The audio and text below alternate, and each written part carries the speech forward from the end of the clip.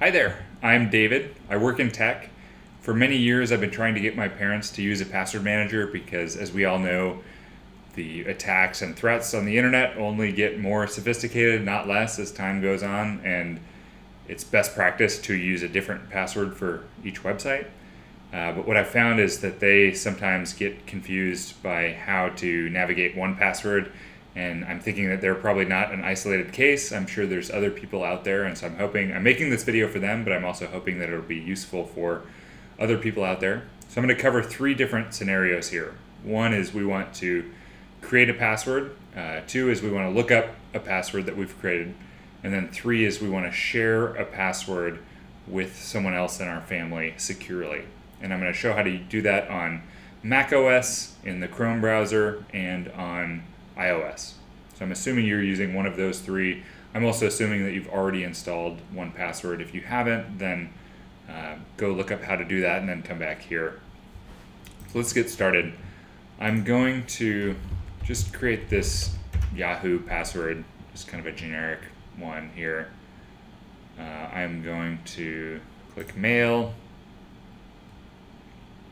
and I want to create an account here and I'm to just fill in some dummy values for these. And then when I click password, 1Password, you see this little icon that pops up and it's going to suggest a password. And let's say that I don't like that password that it suggests. I can tell it to create a different one by going up to this little 1Password icon in the browser here. And I click this, it pops down, and I can click a plus here and click password generator and then now I have a lot more control over the, the type of password that's created. They automatically suggest this smart password, which is whatever special formula that they use to calculate this. Uh, but if I want more control, I can have random password here, and then it has a length. I can decide if I want it shorter, uh, no numbers, no symbols. I have good control over that. If I want a passphrase, I can create one of these, and it just creates a random, th- picks three random words, separates them by dashes. This can be really useful for passwords that you have to type, but you also want to memorize. So right now I'm just going to go with a random password. I can click this shuffle button to create a different one. And then I click autofill. It'll fill that one in, and then it'll prompt me to save this. Um, and I'm going to say I'm going to call it Yahoo Test here. And now that will be saved, and if I click continue, which I won't because I need to fill in the rest of this stuff, it'll save that password in 1Password. Okay, so that's with the browser. Now let's say I want to create it with the app itself. So I think one thing that confuses my parents is that this is not actually the 1Password app. This is just a plugin for Chrome that talks to 1Password. If I want to actually open the 1Password app, I can go to the very top of the screen and there's that 1Password icon here. If I click that, it'll pop up in 1Password. And the nice thing about this is you can do it anywhere. So you don't actually have to have a Chrome browser open. So if you have an app that individually requires a password, you can use this system level 1Password. And then you can also pop this out by hitting settings, open 1Password, and this gives you the full app. Now the other way to open this up is if you go to the very top right of the screen, there's a feature called Spotlight Search, and it's this little magnifying glass icon. You click it, it pops open, and then you can type in 1Password seven. Oh, there you go. And that pops up in the app. So let's say I want to create my new Yahoo login. I click plus for add item, click login here.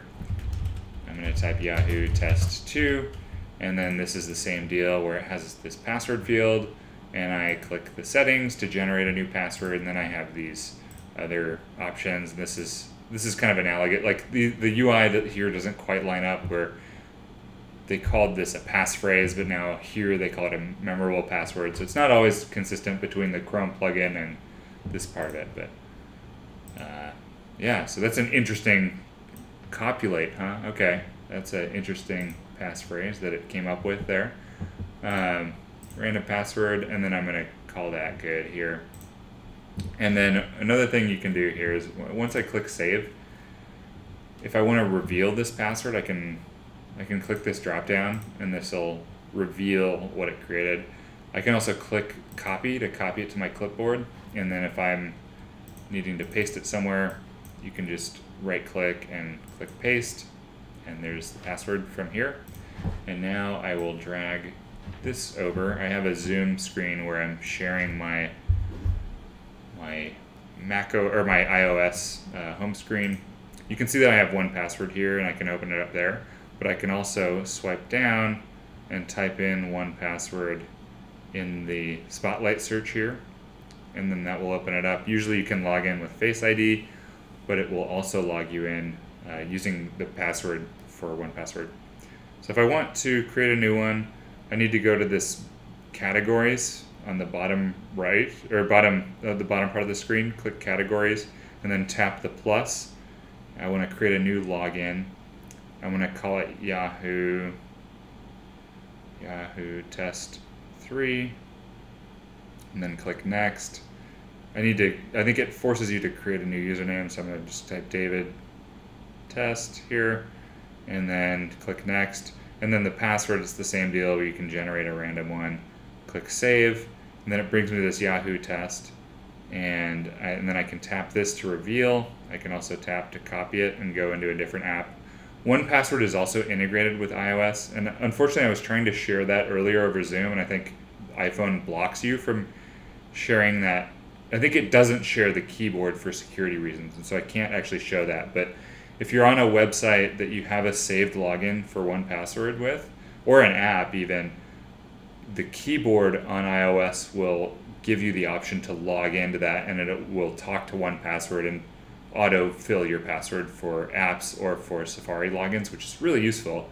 Makes it a lot easier. So you don't have to jump between the 1Password app and whatever app you're using. But if you don't have that option, you can always open up 1Password, um, look up your login, and then copy it. Okay, so the case that we also wanted to talk about was looking up a password that you already created. So I'm going to open up the 1Password app for this. Again, I'm just going to click open 1Password. So let's say I want to find that um, that Yahoo password that I had created. I'm just going to search for Yahoo test 3. Uh, that's this one. This is the one I created on my phone. I can reveal that. I can copy, paste it. So it has this handy little search bar here that you can look up your passwords with. And now if I want to do that on my phone, uh, I accidentally killed the Zoom sharing, so I just need to get that back up just a second.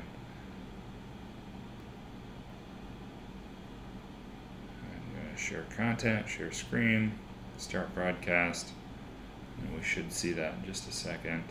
Here it is. So I'm going to open up 1Password here. And then now I have my, my favorites. So these are the ones that you've used most often. You can also go to category. I think you can actually search all your passwords from favorites. So if I if I do a search for Yahoo test, uh, there it is right there. Yahoo test two and three. These are all the ones that I created.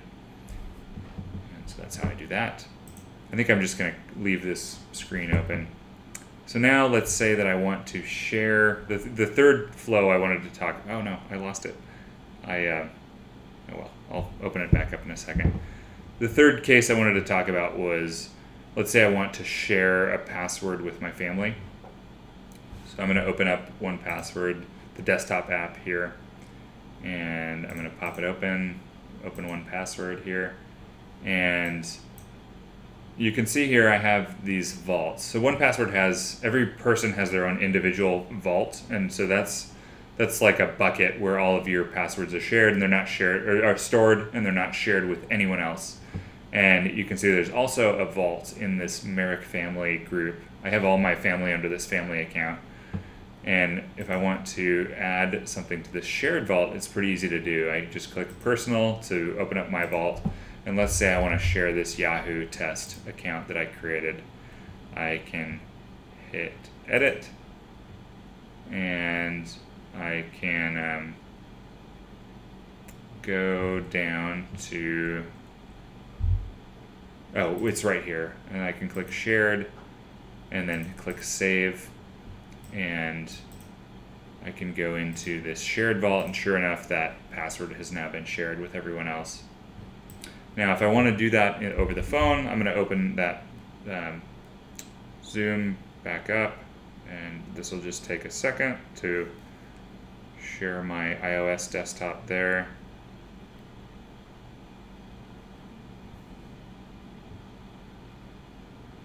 There we go. So now I can open up 1Password and let's say, so and if I want to open up my vaults, it's in the, it's this circle that's colored at the upper left. I can hit shared. Sure enough, my Yahoo test is there. But let's say I want to share my Yahoo test 2. So I can do a search for Yahoo test search everything. This might, I might not, I, I think I need to log back into my other vault. There we go, I was in the wrong vault. So I'm gonna go in my personal vault. Let's say I wanna share this Yahoo Test 3 account. I can, the flow is a little bit different from using the desktop app, but if I open up that Yahoo Test 3, I can scroll down to move and copy, and then I can go copy, or I can cl click move to vault, and then I can move it to that shared vault. And then if I open up, um, that shared vault, now you should be able to see